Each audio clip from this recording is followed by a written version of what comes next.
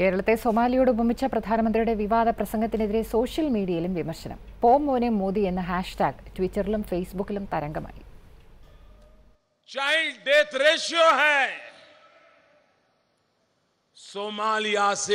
സ്ഥിതി തിരുവനന്തപുരം സെൻട്രൽ സ്റ്റേഡിയത്തിലെ മോദിയുടെ സൊമാലിയൻ പരാമർശം ചൂടേറിയ രാഷ്ട്രീയ വിവാദത്തിനാണ് ഇടയാക്കിയത്. ചൂടൊട്ടും ചോരാതെ സോഷ്യൽ മീഡിയയും സംഗതി ഏറ്റെടുത്തു. കേരളത്തിന്റെ ആത്മാഭിമാനത്തെയാണ് മോദി ചോദ്യം ചെയ്തതെന്ന് സോഷ്യൽ മീഡിയ അതിരൂക്ഷ വിമർശനമുയർത്തുന്നു ഏതാനും മണിക്കൂറുകൾ കൊണ്ട് പതിനായിരക്കണക്കിന് പോസ്റ്റുകളും ട്വീറ്റുകളും സ്ട്രീമുകളിൽ കുമിഞ്ഞു. പോമോനെ മോദി എന്ന ഹാഷ്ടാഗ് ട്വിറ്ററിലും ഫേസ്ബുക്കിലും ട്രെൻഡിംഗ് ആയി മാറി.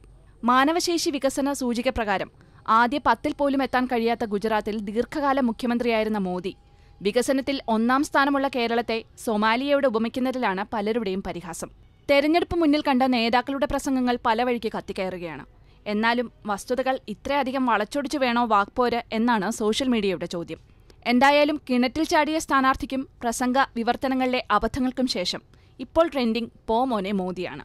ഏഷ്യാനെറ്റ് ന്യൂസ് വെബ് ടീം ന്യൂസബിളിനൊപ്പം ഇലക്ഷൻ ഡെസ്ക് ഏഷ്യാനെറ്റ് ന്യൂസ്.